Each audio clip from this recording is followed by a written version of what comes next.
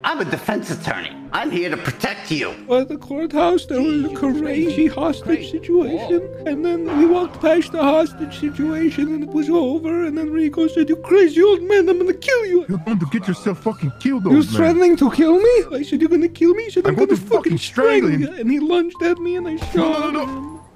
You heard them. That's intent. I got scared, and I freaked out, and I ran away.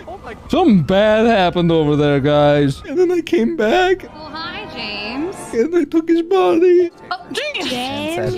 And I just I drove with it. James Randal, this is the police. Pull the vehicle over now. Then I tried to dump it. I got to dump the body. No body, no crime. If there's no body, it wasn't real. It didn't happen. I suggest you do not answer any questions this man asks you whatsoever. Oh, at oh, all. oh, okay. How are you, Mr. Randal? Good. Don't answer that. Shit. Try again. Try again. Did you see any government employees on scene?